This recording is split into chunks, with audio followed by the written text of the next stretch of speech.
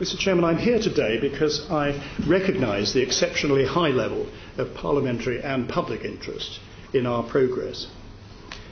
Interest in our work is perhaps um, keenest for those who lost loved ones or are otherwise um, directly affected by the Iraq conflict.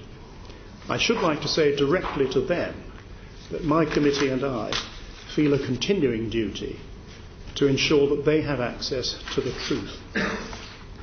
That was something to which we and they, in the um, meetings we had with them at the beginning of the inquiry, attached the highest priority.